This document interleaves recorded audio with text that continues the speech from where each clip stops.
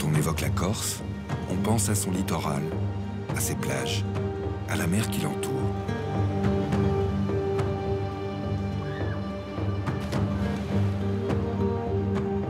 Pourtant, cette île est beaucoup plus que cela.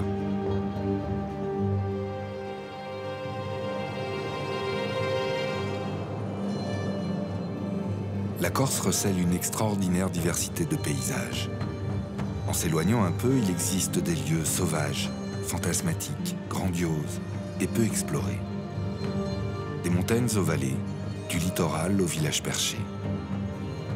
Et sur une année, aux quatre saisons, l'île de beauté n'offre jamais le même visage. Les décors se parent de nouveaux atouts, le spectacle devient étourdissant. Les paysages sont vivants.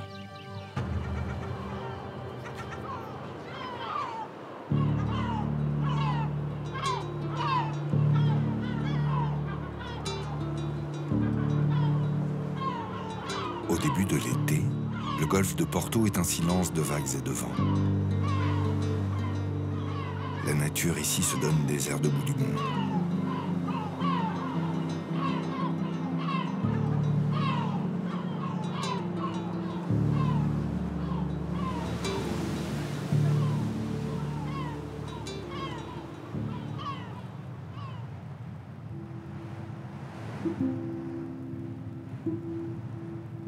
Aussi loin que l'on remonte dans le temps, le manteau végétal de la Corse n'est qu'une végétation quasi impénétrable. Sur les terres proches du littoral, le maquis règne en maître absolu. C'est le couvert végétal typique de la Méditerranée qui a marqué l'imaginaire de cette île. Cette végétation dense fut le refuge de nombreux insulaires. Le palais vert comme espace de liberté pour les bandits qui voulaient se soustraire aux autorités et aux vendettes.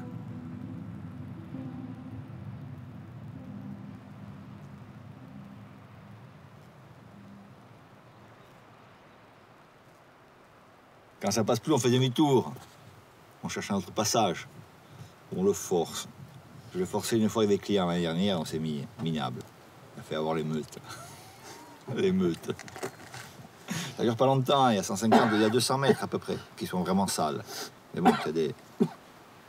Voilà, pays Bruniga, il y a les gros genêts, tu vois, bien, épineux, comme ça, haut, comme ça, de partout. Tu, tu déchires tout, tu te mets en sang.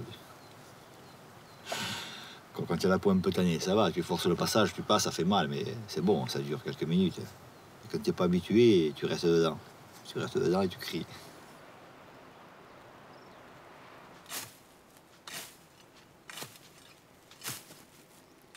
Le maquis, c'est ce qui reste ou ce qui pousse quand les hommes s'en vont. Et sous le couvert végétal, comme partout sur cette île, se cachent les témoins de pierre d'une ancienne occupation rurale. Sur les pentes du Cap Corse, les paysans ont construit d'innombrables caseilles pour stocker le blé qu'ils cultivaient ici et se mettre à l'abri en cas de mauvais temps. Pendant des siècles, les hommes ont travaillé la terre avant que celle-ci ne retourne à l'abandon et que le maquis ne reprenne ses droits. Elle est magnifique, cette maison. Elle est vraiment magnifique. C'est un témoignage extraordinaire. hein. Et ici, probablement, le, grain était stocké puisque tout ce que nous avons autour de nous était probablement planté en blé. Ça paraît impossible à imaginer aujourd'hui. La Corse, c'était un jardin, et c'est quelque chose qu'il faut bien comprendre, ça. hein. C'était un jardin qui commençait à Bonifacio et qui se terminait à la Giralia dans le Cap. Et tous ces chemins que, nous voyons, c'était des chemins qui étaient faits pour que circulent les marchandises, et pas uniquement des gens. Des marchandises ou des troupeaux. C'est-. Et maintenant, c'est devenu une espèce de figure emblé- emblématique de la nature sauvage. Mais si, on, si les, les Corses d'il y a même pas un siècle revenaient et qu'on leur dise ça, en plus pour eux, ça serait une humiliation sans fond. Ça signifierait qu'ils n'ont pas été capables d'entretenir leur territoire, ce qui est la vérité d'ailleurs. Moi, en ce qui me concerne, je vous une haine féroce au maquis. Je trouve que ça sent très bon, c'est très joli sur la carte postale, etc., etc. Mais moi, je suis agriculteur. Le maquis, c'est mon ennemi numéro un. Et donc, quand je vois ça, pour... après l'émotion esthétique, pour moi, c'est un, un énorme serment de cœur, parce que ça signifie qu'il n'y a plus d'humains pour occuper l'espace. C'est très beau, l'espace sauvage. Mais nous, il faut qu'on y prenne notre place aussi dans cet espace.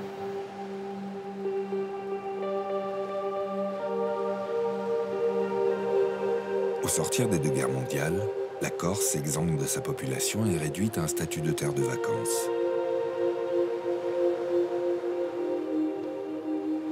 L'État français décide de développer l'économie insulaire par le biais de sa première richesse, son capital nature. Les grands projets d'aménagement touristique visent d'abord les sites naturels les plus remarquables. Sur l'archipel des Sanguinaires, dans le golfe de Porto, à la pointe du Cap Corse, les promoteurs osent les projets les plus fous. Ports de plaisance, héliports, casinos, des terrains de sport, des hôtels avec plus de 15 000 lits. Et ici, sur ce petit coin de nature, une jetée en béton fut jadis édifiée pour accueillir les résidents d'une centaine de villas que souhaitait construire un promoteur.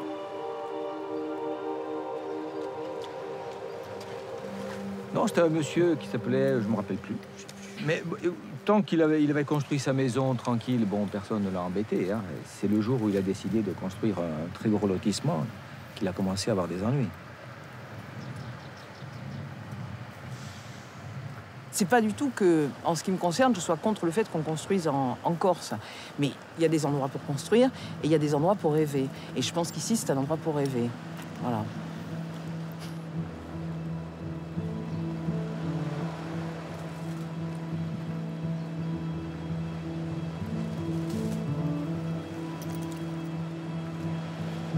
Comment concilier nature et tourisme dans une île aussi fragile? Comment s'y développer sans y perdre son âme et sans altérer les paysages Le littoral, c'est le cœur de toutes les questions qui se posent aujourd'hui en Corse.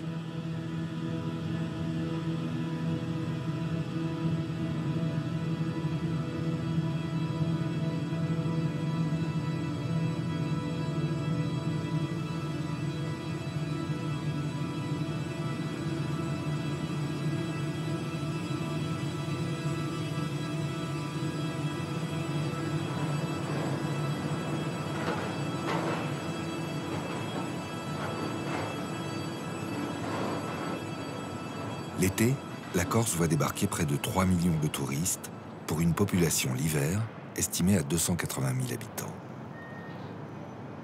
On y vient de tous les pays d'Europe admirer les beautés de Calysté et surtout pour se retrouver sur les bords de cette Méditerranée aux images de vacances.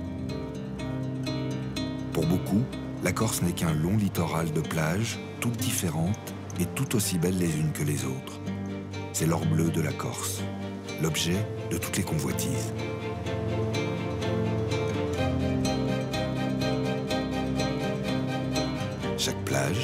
Chaque baie, chaque crique devient un lieu estival pour chacun. C'est la Corse des cartes postales et depuis des années, la première économie de l'île.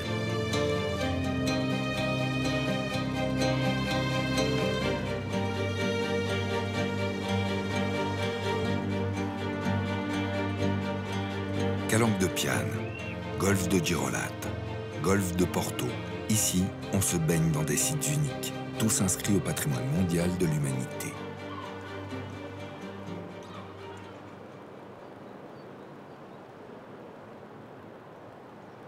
La presqu'île rouge de Scandola accumule les titres en devenant la plus belle réserve intégrale de France et une aire maritime protégée.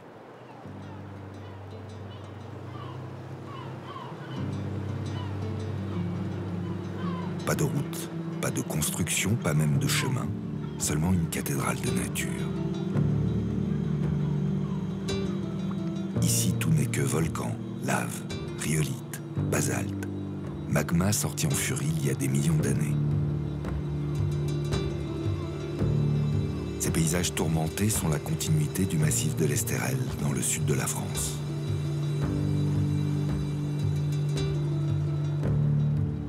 C'était il y a bien longtemps, lorsque la Corse n'était pas encore une île, rattachée au continent. À l'ère tertiaire, c'est l'éruption volcanique ultime. Les massifs s'effondrent. La Corse part à la dérive.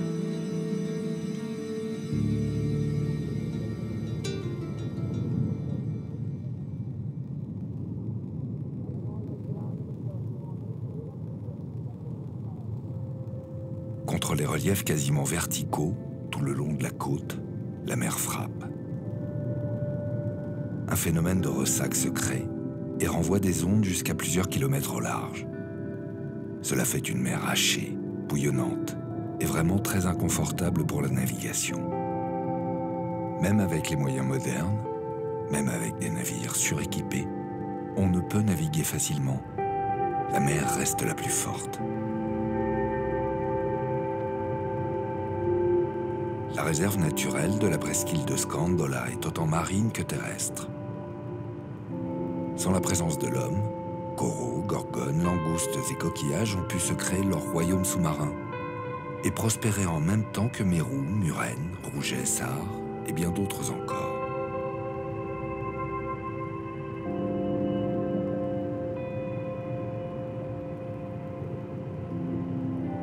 C'est ce site-là qui est le site le plus habité par les mérous de Méditerranée. C'est 700 individus sur pratiquement 40 euh, euh, hectares. Euh, c'est remarquable, c'est des individus qui, pèsent plus de 30 kg, 30 à 40 kg. C'est des grosses espèces, des gros barracudas, des gros mérous, des gros corbes, des gros sars, plusieurs espèces de sars, des nouvelles espèces comme le mérou royal, Mycteroperca rubra, le corail, le corail qui est très présent sur la zone, puisque c'est une zone très protégée. Et on a la chance d'avoir du corail très présent, à des profondeurs accessibles, peu profondes.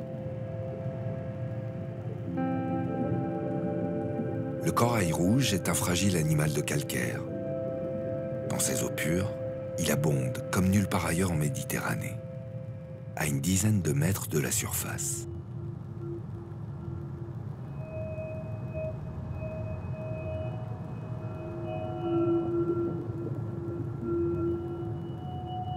La richesse de la biodiversité de Scandola, c'est aussi le mystère de grottes qui simulent les grands fonds marins de la planète.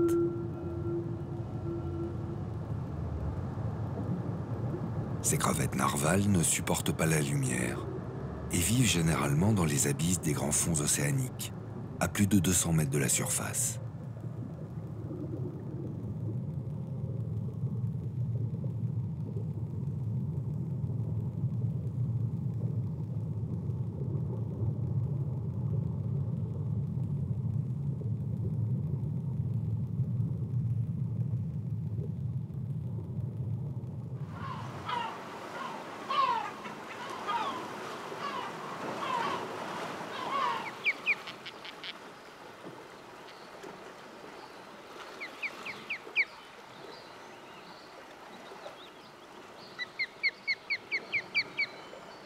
Sur les pitons rocheux de la presqu'île, le balbuzard pêcheur vient nourrir sa famille. Si rare, ce grand rapace est l'emblème de cette réserve.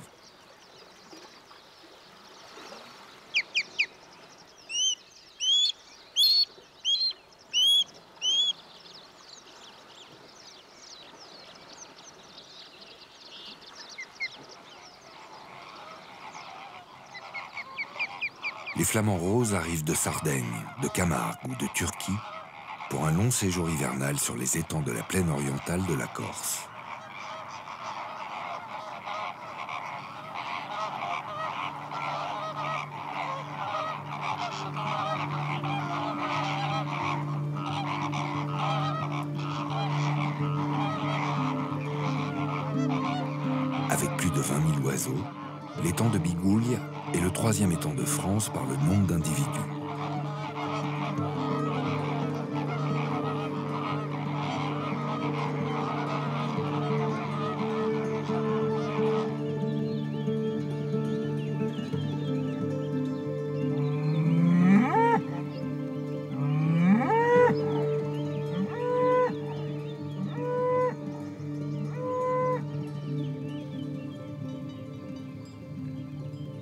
Bêtes, la terre et les hommes, c'est une longue histoire en Corse. Une histoire austère, faite de travail et de pauvreté, pour des vies de peu, où les hommes sont nomades entre plaines et montagnes. Cette histoire, c'est celle d'une civilisation rurale qui va imprégner toute la Corse et devenir son fondement. Une histoire dont le berger est le personnage central, la figure identitaire de l'île. Le territoire de transhumance s'étend du nord au sud de l'île, tout le long de la dorsale montagneuse, sur plus de 150 km.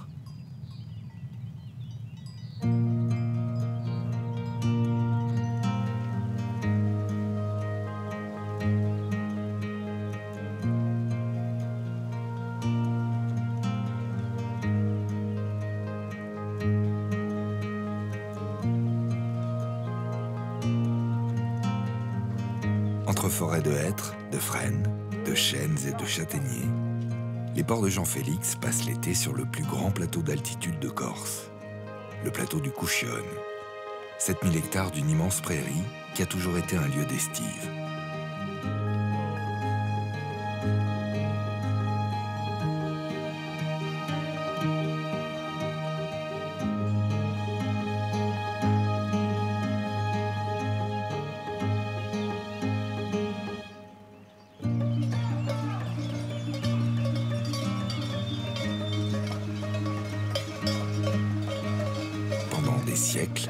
Corses ont résonné des grands mouvements de transhumance, créant un lien social essentiel entre les communautés.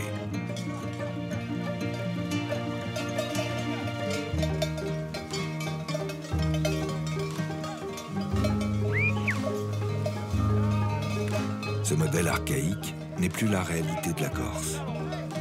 Les transhumances n'ont plus l'ampleur d'autrefois et plus de 80% des bergeries sont abandonnées.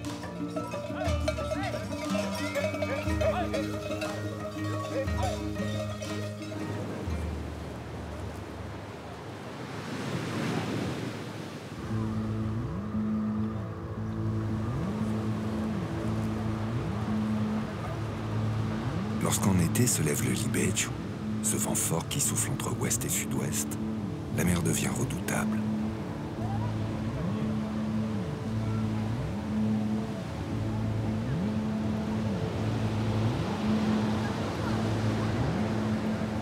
Le Libeccio, la Tramontane, le Grégal, le Sirocco, le Punente, les vents qui soufflent sur la Corse, les embruns et le temps composent avec la roche un véritable bestiaire minéral. On le voit, hein, ces montagnes, ces rochers, on voit que vraiment c'est très tourmenté. Le vent, est roi ici, le vent est capable de creuser la pierre ici. C'est quelque chose d'hallucinant. On le voit dans tous les taphones et tout ce qu'on voit. Ces phénomènes euh, géologiques. Euh, beaucoup de gens viennent ici, les naturalistes, viennent ici pour, euh, observer. Ils restent quand même médusés par la force de l'élément sur, la pierre et sur, ce qui pourrait paraître éternel. Mais finalement, euh, on s'aperçoit que le vent et, l'eau vraiment sont plus forts. Alors souvent, je dis que les, les Bouches de Bonifacio, le détroit qui commence à, à Rocapine, c'est une zone, je veux dire, euh, le vent t'épuise. C'est pas toi qui vas épuiser le vent, même si tu navigues toute la journée, mais c'est le vent qui t'épuise. quand ça se met à souffler, ça s'arrête pas. C'est impressionnant.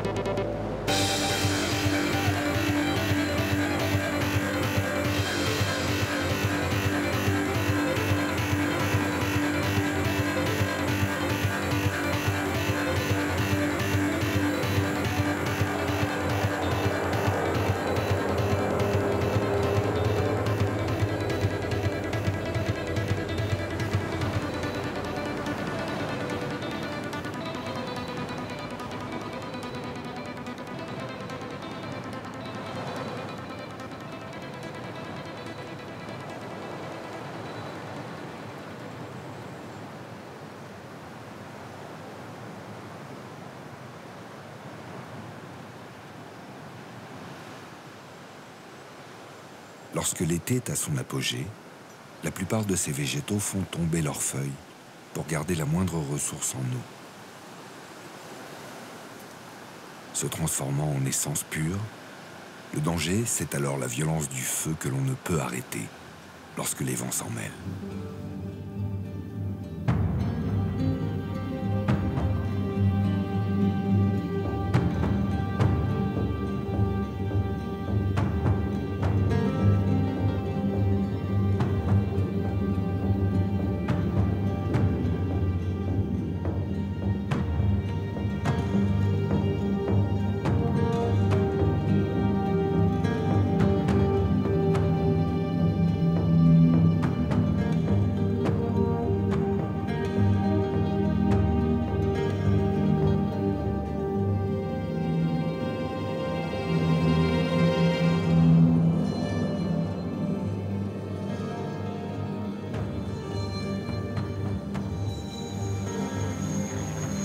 Le 31 juillet 1989, la Corse brûle jusque dans les quartiers de Bastia.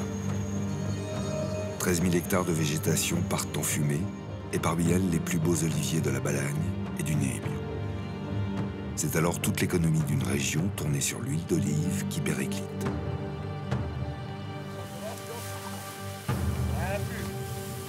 Dans les années 90, quelques producteurs reprennent le travail. Et aujourd'hui, l'huile d'olive corse renaît de ses cendres.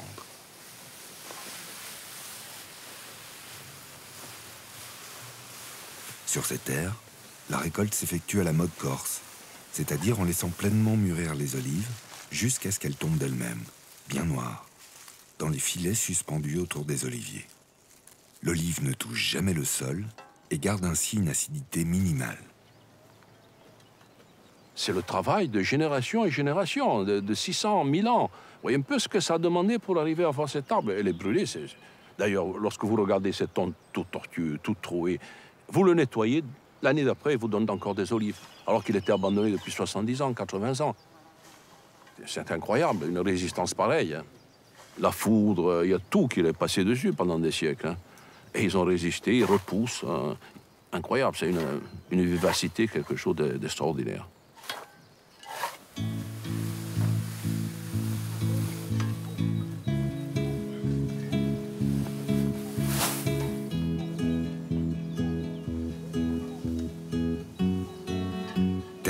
Unique pour l'olivier, la Corse renoue depuis quelques années avec son véritable savoir-faire.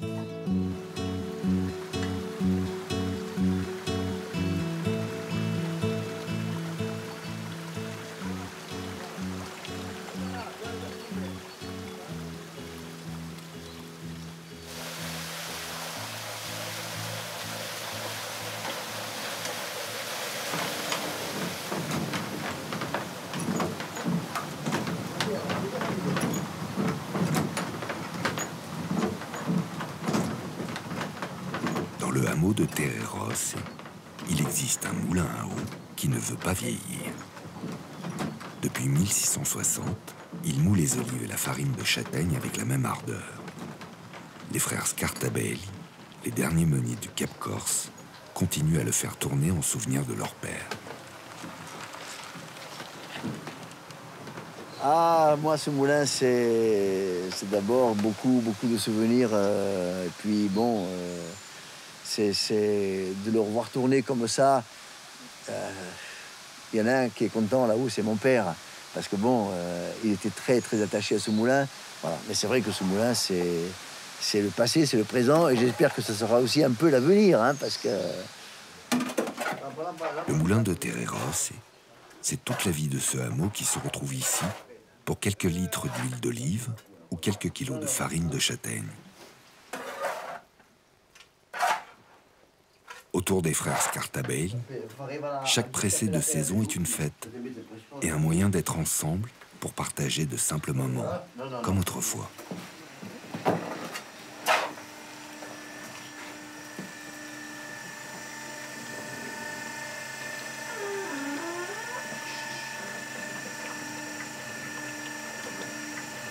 Si vous voulez, si demain il n'y a plus personne qui va amener quelque chose à manger à ce moulin, le moulin euh, ne parlera plus, il ne mangera plus, sera fermé définitivement. Et quand quelqu'un me dit j'ai 10 kilos de maïs, euh, je prépare le moulin, je nettoie les meules, je démonte, je remets en place et je l'appelle. En 20 minutes, c'est fait. Mais au moins, le moulin, il vit, il travaille, il est là. Voilà, il est toujours vivant. C'est un peu en mémoire aussi à nos anciens, hein, parce que bon, euh, c'est le patrimoine. Euh, vous vous rendez compte un peu, il a donné à manger à beaucoup de monde. Hein. Et il faudrait qu'il continue.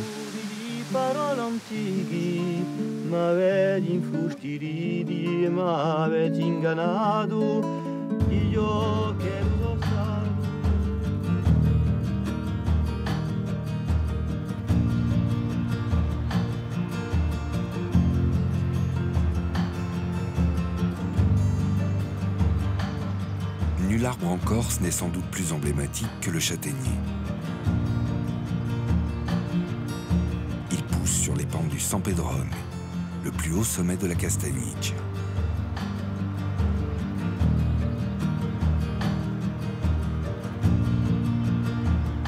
Partout des châtaigniers, à l'infini. Une région qui tire son nom de cet arbre, et un habitat et un environnement entièrement façonnés par la culture de la châtaigne.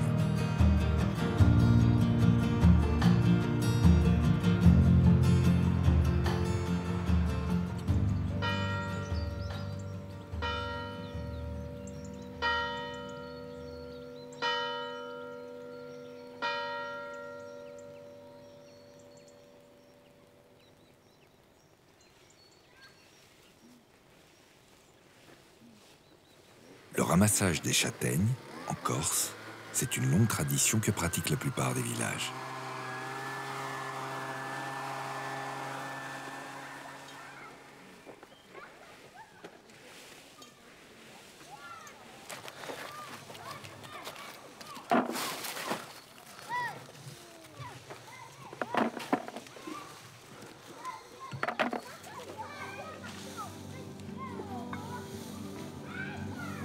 Gros arbres, je veux dire, qui peut situer à 400 ans, euh, facile, hein, je pense. Alors après, des plus jeunes qui doivent être euh, dans les 200 ans, au moins, parce que quand on, voit, euh, quand on plante un châtaignier, on voit le, temps que ça met à, prendre et à pousser. c'est au moins ces délais, au moins ces, au moins ces âges-là. Du travail qui, a, été fait et qui a à faire surtout. c'est impressionnant là, déjà, c'est un endroit qu'on peut appeler propre. Il y a eu pas mal de boulot fait, mais il en reste encore.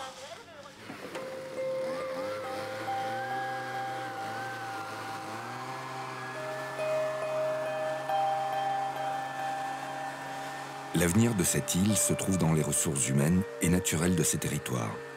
Des espaces de travail qui sont aussi ludiques pour les enfants, qui se rappelleront à jamais de ces moments au pied des immenses châtaigniers trou ils sont pas bonnes. Et ceux qui sont toutes pourries. Et ceux qui sont toutes pourries, il y en a qui sont blanches, les pourries. Ce sont les blanches. Et ceux-là, ils sont belles parce qu'ils ont rien. Ah, celle-là, elle a un trou. Regarde, elle a un trou comme ça. Allez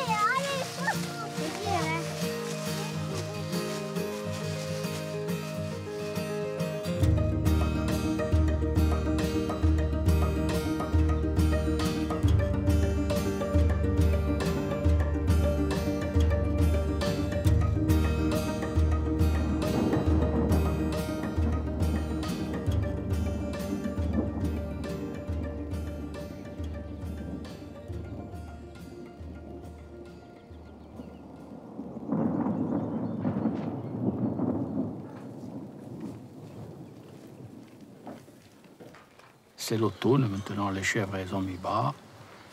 Et le temps aussi, il a changé, hein. il pleut tous les jours, c'est la galère. Parce mois de décembre, en général, on a ce temps comme ça, pluvieux, et assez ennuyeux, surtout pour les chèvres, parce qu'elles n'aiment pas le... quand c'est mouillé.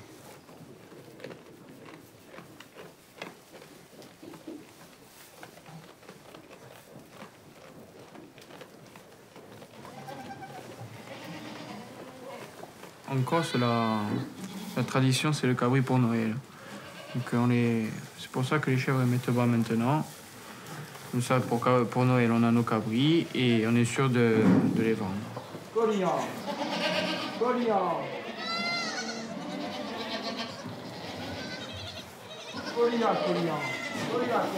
Allez Depuis que j'ai deux ans et demi que je suis offré les chèvres, je sais ce que je fais. Hein. Ma grand-mère aussi, elle a essayé de me dissuader, mais ça n'a pas marché. Hein. Et voilà, on sait, on sait à quoi s'attendre, on sait le boulot qu'il y a, on sait que quand euh, des fois, à cause du temps, on peut avoir, il peut y avoir des problèmes, des années peuvent être mieux que les autres. Hein, hein. Faire le choix de travailler et vivre au pays, c'est l'aspiration de nombreux Corses.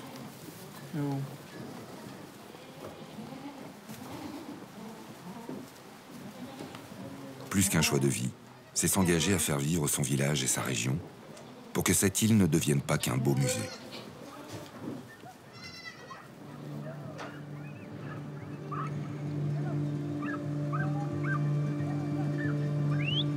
Peu avant l'hiver, quand la montagne redevient un lieu hostile, le plateau du Campoudil se transforme en terrain de chasse. La bête noire du maquis et de la montagne, le sanglier. Lorsque les bergers ont abandonné ces territoires, cet animal sauvage a proliféré.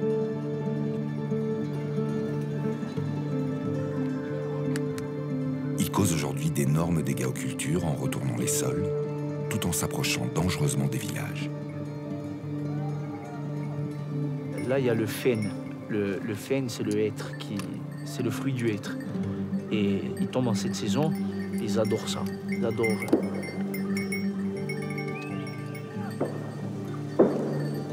Ça,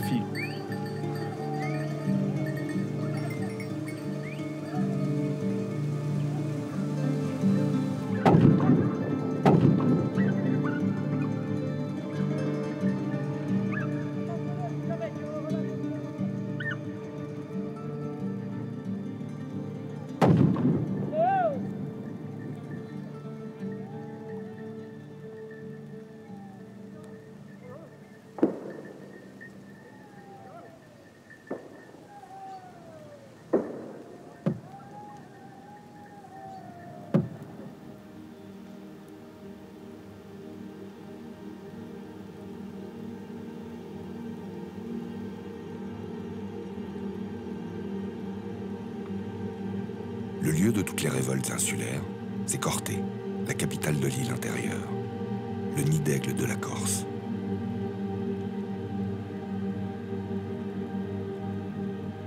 Dans ces rues, on s'entretua, et entre ces murs, grandit le rêve d'une Corse libre.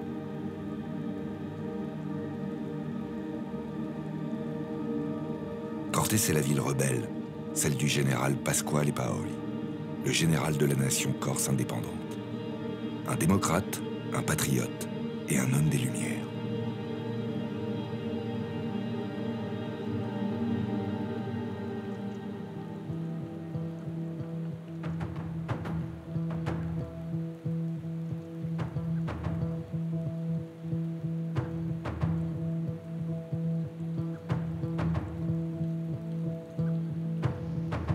En hiver, peut voir dans la vallée d'Ascou un animal qui remonte à plus de 8000 ans. C'est le mouflon, un mouton venu de Perse avec les premiers peuples qui atteignent cette île avec leurs troupeaux. Domestiqué, cet animal vit alors dans les plaines et au cours du temps, il reprend sa liberté et se réfugie dans les montagnes. Chassé jusque dans les années 50, menacé de disparition, le mouflon de Corse est aujourd'hui protégé.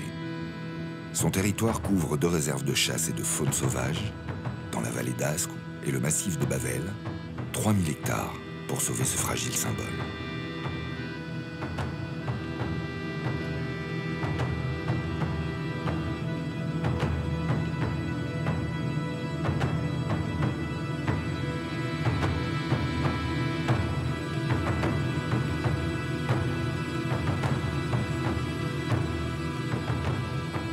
De générale, les Corses l'été en montagne, ils y vont pas trop parce que c'est pas nos monde. L'hiver, c'est notre montagne.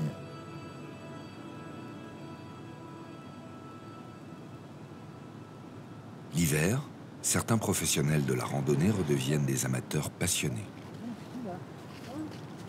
Au pied du Tavunat, ils retrouvent dans ces étendues de neige le silence et l'essence de cette montagne.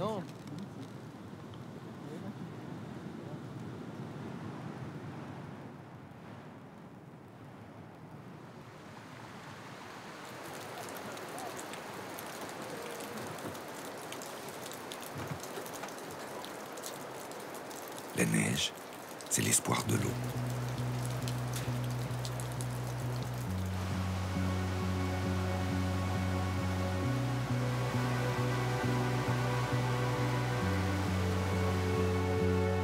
Et l'eau, c'est l'une des richesses de la Corse. Celle qui a permis au monde rural de se développer et de vivre dans les territoires de montagne.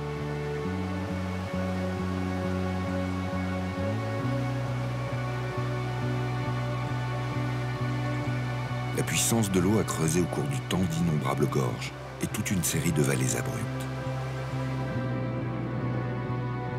Ici coule le Liamone, le Rizzanese, la Gravonne, le Tarve, le Gaule, le Tavignan, la Restonica, 24 rivières qui couvrent plus de la moitié de cette île.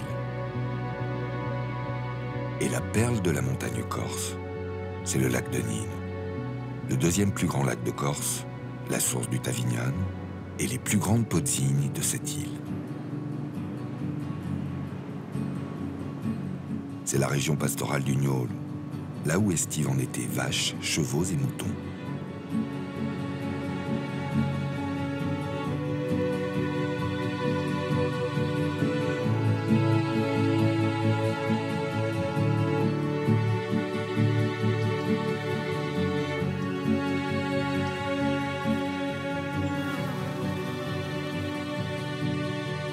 Le maquis rayonne de centaines de couleurs, d'odeurs et de parfums.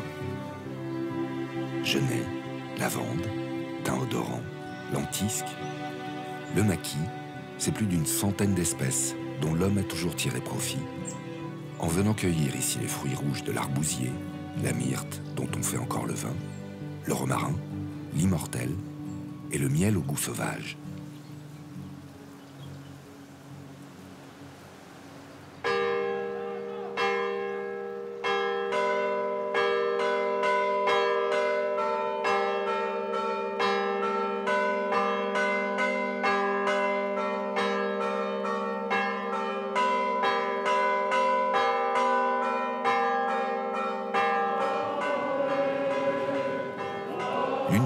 Les plus renommées de Corse, c'est celle de Casamaccioli, dans la vallée du Gnôle.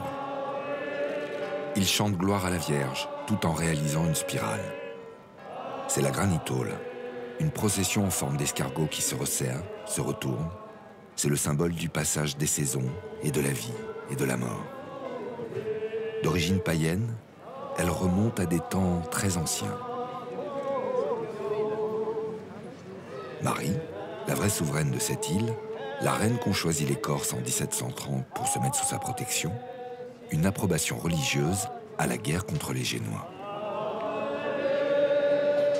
C'est un peuple profondément croyant qui va construire églises, couvents et chapelles sur tout le territoire de cette île.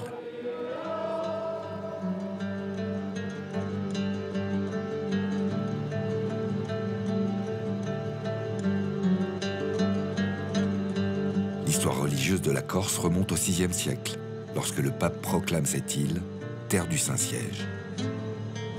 La présence chrétienne va ainsi profondément marquer la culture et les paysages de l'île tout entière.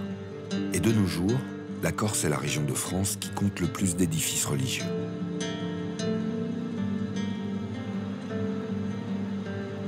Au cœur de chaque village, même les plus hauts perchés, on y a bâti des églises aux clochers parfois immenses. À la montagne, quitte à frôler le vide au milieu de maisons rustiques.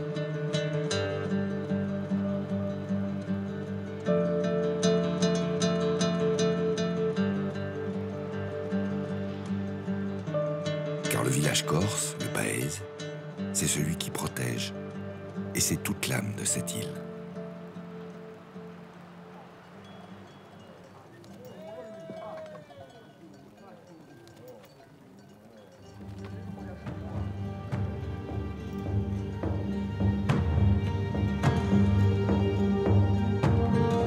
Cette montagne, les hommes ont construit à main nue d'innombrables chemins de pierre pour passer l'école avec leurs bêtes. Partout où ils le pouvaient, ils ont vaincu les hauteurs pour cheminer à travers ces massifs alpins. La véritable Corse est ici, dans cette montagne. Toute une île de sommets, une forteresse de granit, un chaos de roches pour des paysages arides, brutaux, sauvages et difficiles.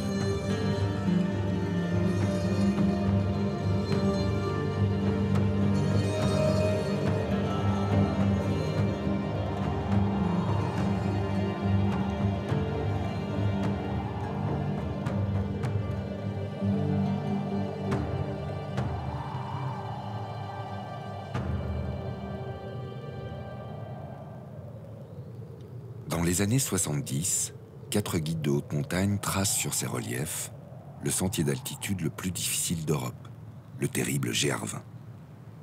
C'est le Fralimonti, le chemin à travers la montagne, qui traverse la Corse du nord au sud par les principaux massifs de l'île.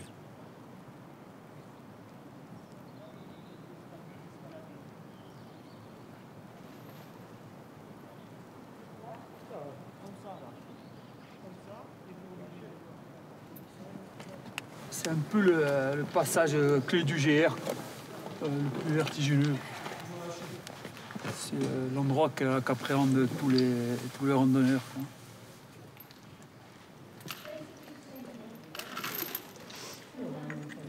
Il y a des dénivelés plus importants, plus physiques, mais techniquement, avec les sacs lourds qu'ils ont, euh, c'est l'endroit le plus technique. quoi.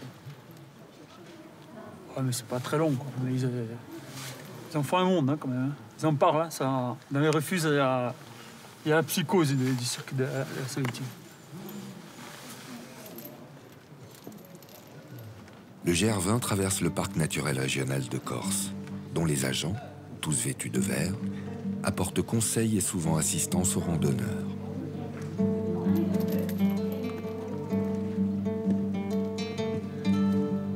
Chaque été, plus de 20 000 personnes se croisent sur ces pentes. C'est l'itinéraire montagneux le plus encombré d'Europe.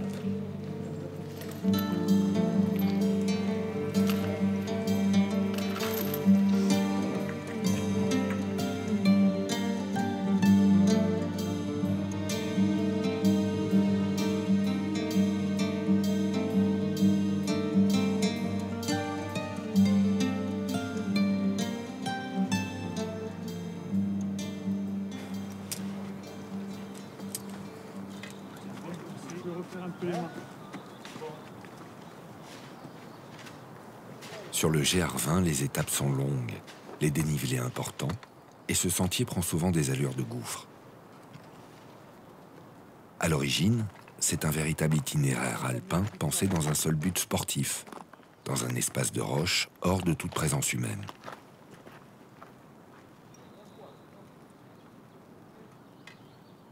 Seuls les montagnards confirmés pratiquent ce sentier en autonomie totale. Les refuges n'existent pas encore. Quelques haltes sont possibles chez les bergers qui travaillent encore en montagne. Un bon moyen de rencontrer les Corses. Au fil des années, les bergers deviennent gardiens de refuge, accompagnateurs ou guides.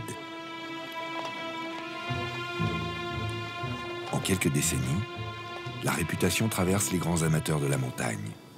Et la mode de la randonnée achève d'en faire un succès mondial. Le GR20 continue sa route vers le sud et rejoint dans sa variante alpine le massif de Bavel.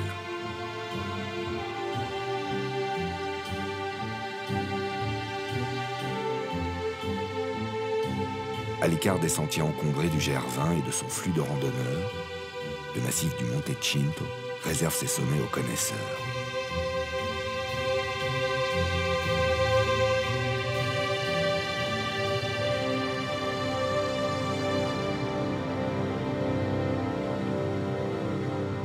Dans ces espaces abrupts règne le puissant Tavunat.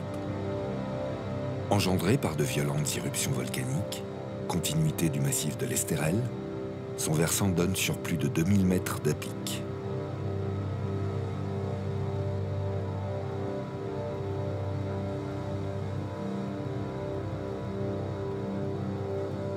C'est sur la Palia-Orbe et le Tavunat que des grimpeurs allemands ont ouvert les premières voies d'alpinisme dans ces montagnes. C'était au début du XXe siècle. Entre le Tavonat et la Paille-à-Orbe, c'est un endroit qui est. Il y a des vibrations, quoi. C'est impressionnant. Et puis il y a une espèce de porte là entre le versant est et le versant ouest. Et de l'autre côté, c'est wilderness un peu, c'est très sauvage. Donc euh, c'est cette porte là qui donne accès d'un coup d'un versant à l'autre. C'est pour ça que du Tavonat, on domine vraiment la vue sur le golfe de Galère et Porto, et c'est là où il y a un très gros dénivelé de l'autre côté. C'est l'extrémité vraiment, c'est là où il y a le plus grand dénivelé entre, le, entre le, le- le- les sommets et la mer. C'est les 2000 les plus proches de la mer.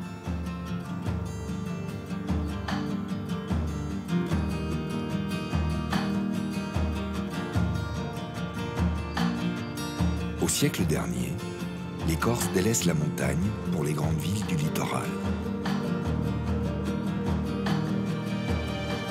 Bastia, c'est la ville génoise par excellence, la citadelle de l'ancienne République italienne, qui fut longtemps la capitale militaire et économique de la Corse.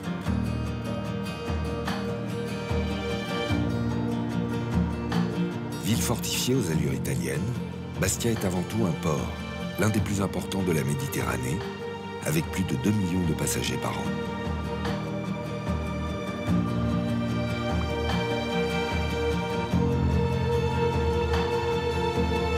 Capitale de la Corse du Sud, Ajaccio est la cité impériale qui vit naître Napoléon Bonaparte. Au XIXe siècle, cette ville est une villégiature à la mode qui attire la bourgeoisie de toute l'Europe. Toutes les villes qui naissent sur le littoral sont d'abord des citadelles ou des places fortes construites par les Génois. Comme Calvi, cette puissante citadelle jamais conquise malgré les nombreux assauts menés par les Français et la flotte britannique.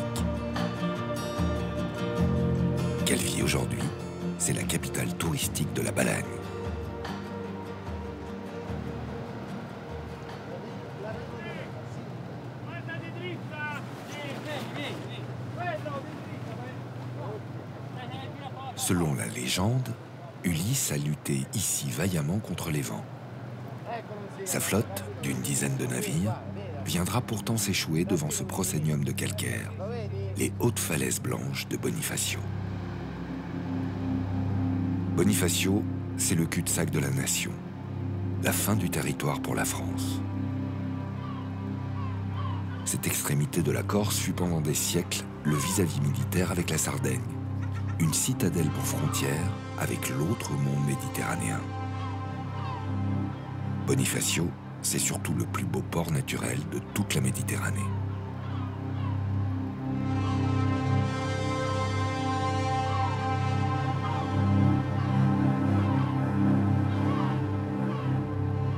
Des poudrières dans les falaises, des chaînes pour barrer le port, des fortifications partout jusqu'au bout de la presqu'île.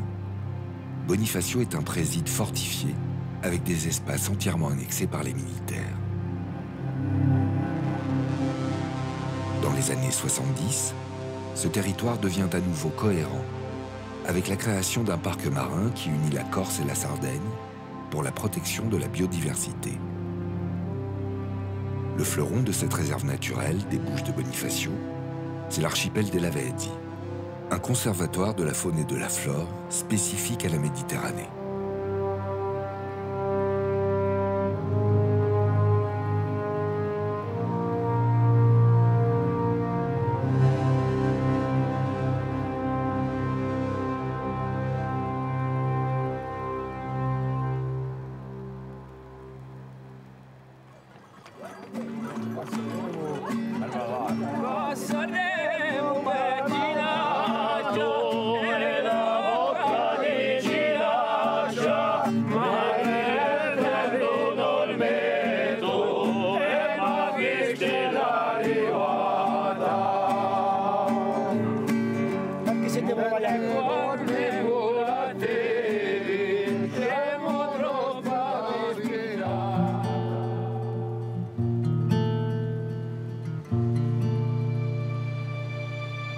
Ne s'offre pas facilement au premier voyage.